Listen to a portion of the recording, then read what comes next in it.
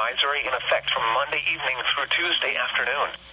Tonight, southwest winds 25 to 30 knots with gusts to around 45 knots. Along the coast, seas 4 to 6 feet with occasional seas to 8 feet. In the Gulf Stream, seas 6 to 8 feet with occasional seas to 10 feet, building to 8 to 10 feet with occasional seas to 13 feet after midnight. The tornado threat remains very high through Sunday night, and what you're This could be a very long night.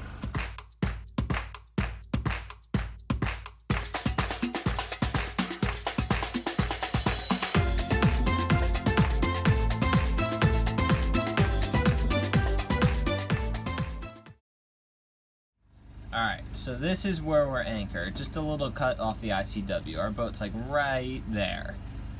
And we have a stern anchor that way, and then a bow anchor out that way. So I would almost never recommend anchoring with a bow and a stern anchor. We can get away with it because we have mangroves on both sides of our boat. So if the wind's blowing this way or this way, it's blocked by the mangroves. And we're not going to build up a lot of chop or pressure against the side of the boat. And then when the wind blows this way or this way, we have the stern anchor there and then the bow anchor there to keep us into the wind. Now tonight the wind's going to be blowing hard southwest, so that's kind of going to be blocked by the mangroves. But the thing that worries us the most are the tornadoes, which they say can reach 90 miles per hour. So we're just going to do some things to prep for those potential dangerous tornadoes. Then we have this little sailboat, that's our friend, and actually he already dragged today. I was helping him um, reset his anchor earlier today. Pretty much. See that little buoy right there? And he could be a potential hazard, so we just got to make sure that if he starts dragging, we kind of. I don't know. What can we do if he starts dragging? Push him off. Does anything else worry you? Lightning. I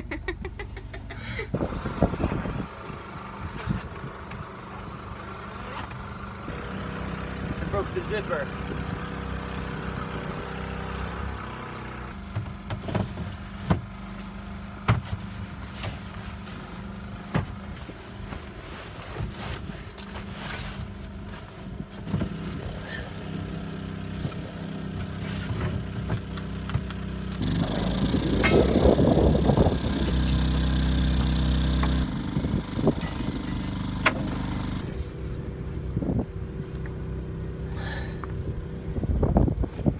So we took the Bimini down, we threw an anchor out to kind of prepare us a little bit for this windy, stormy, tornado-y night. Are you nervous, Sierra?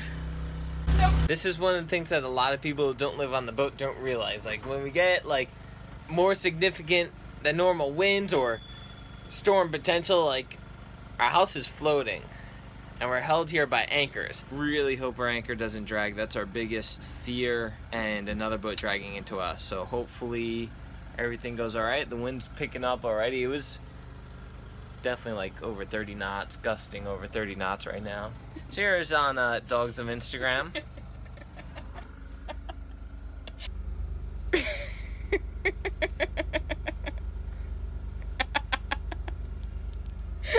that funny?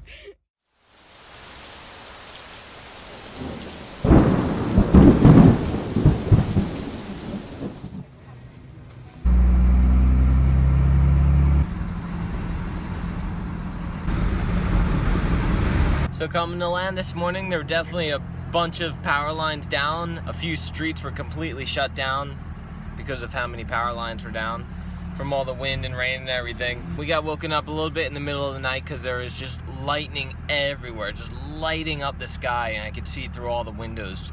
Kind of crazy. But uh, besides that, we held up. No one dragged, no damage. It's still a little windy out today. She looks so naked without her bimini. Jetty! Can you sit? Sit. Stay. Sit. Stay. Sit.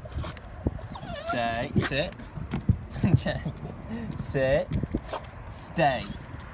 Stay. Good stay. Good stay. Come. Good girl. Still super windy out here. Woo!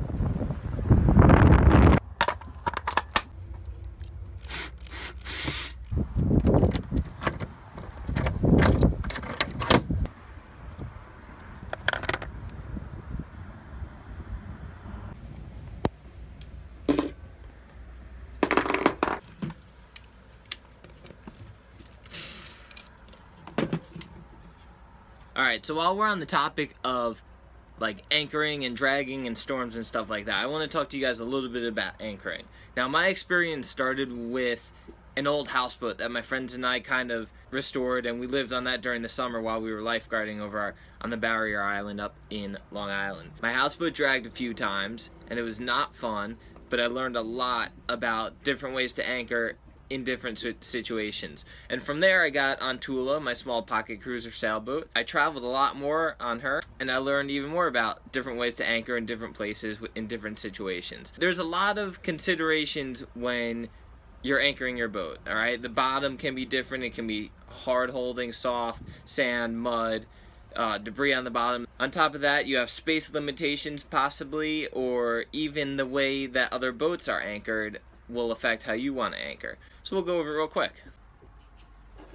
Alright, so this is our little boat, and this is the simplest way to anchor, just one anchor. This is what we use most of the time, especially when we're cruising. It's really easy to drop the anchor, and then pick it back up. Very simple and easy. And then we just swing on this anchor if the wind changes or the tide changes. This is especially good if you're going to be on or around your boat most of the time. Alright, so this is how we're anchored right now on Neverland. We have one stern anchor and one bow anchor, and that's going to keep the boat in a relatively the same direction.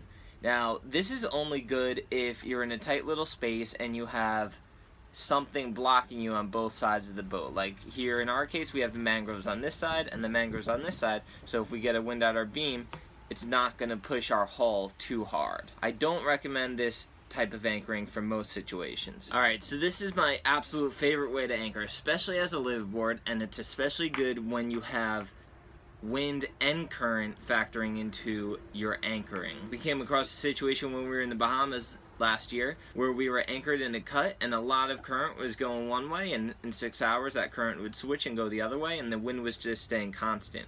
So our boat didn't want to ride directly into the wind all the time. The current had a lot to do uh, pushing against the small keel we have on the bottom of the boat and that's going to be even more of a factor on sailboats.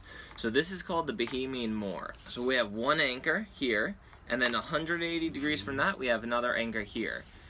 Now both those anchor lines lead up to a swivel right here and then we have a short piece of line to our bow cleat. Now when that boat swings it's on this anchor and as it keeps swinging now it's on both anchors and then it switches this direction now it's only on this anchor. And this is great because the anchors never have to reset when your boat swings with the wind or the current they always stay in the relatively same position, maybe just angling a little bit here or here. Now the way to set this Bahamian Moor is to just drop your first anchor, way up current or upwind, whichever is pushing you more, and then you could fall way back, let a lot more line out on this first anchor than you think, like double the length of that line, and then drop your second anchor, and then you could winch yourself back in on that first anchor about halfway letting the second anchor line loose. Now you're about halfway in between both anchors, and then if you have a swivel, you can use it. If you're only anchoring temporarily, then you only even need a swivel. Just tie both lines up to the front chock. The only thing you have to worry about there is if you anchor anchor for more than a few days, these lines are going to get really twisted and binded up on the bow of your boat. The only situation that I can think of that you have to be careful of this anchoring technique is when you're in an anchorage with a, a lot of other boats. If they're all on a single anchor, they're going to swing a lot bigger diameter than you're going to swing. With this Bahamian Moor, you don't swing nearly as big of a diameter. Alright, there you have it guys. Those are just a few ways you can anchor your boat. My favorite as a live board is that Bahamian Moor. Right now we're not anchored that way because we're in a unique situation. Now there's a lot of different variations on all those anchoring techniques. Like the Bahamian Moor, you could have three anchors out in a triangle, all leading up to one swivel. Um, or that bow and stern anchor, you could have two bow and two stern, or any variation of that. So let me know what anchoring technique you guys use. I'm really curious. And if I forgot anything, definitely leave it in the comment below. Thanks for watching.